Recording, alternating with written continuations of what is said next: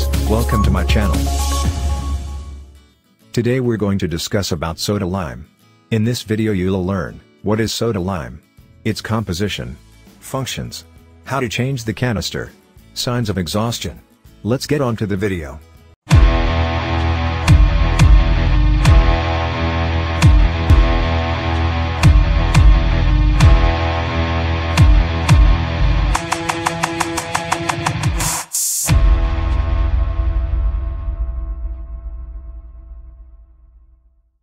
Soda lime. It is a mixture of calcium hydroxide with sodium hydroxide or potassium hydroxide. Soda lime has a unique ability to absorb moisture from air. It also absorbs carbon dioxide from air. Hence it is used in closed-circuit ventilation. Soda lime absorbs carbon dioxide and water vapor and deteriorates rapidly unless kept in airtight containers. Functions of soda lime Makes rebreathing possible, thus conserving gases and volatile agents. Decreasing air pollution, and avoiding hazards of carbon dioxide rebreathing. Composition Soda lime activator is sodium hydroxide or potassium hydroxide. Silica and kieselguhr added as hardeners.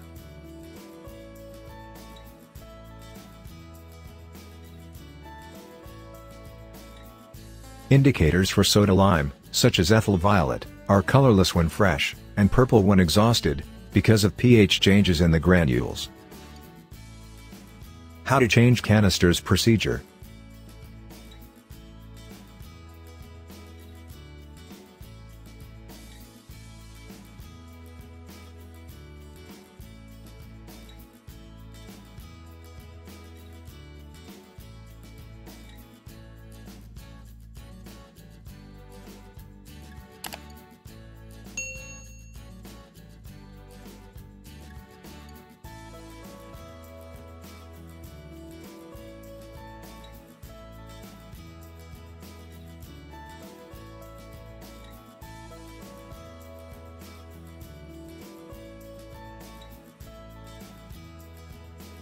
Okay friends. I hope you all like this video. Subscribe this channel for recent updates. See you all in the next video. Thanks for watching.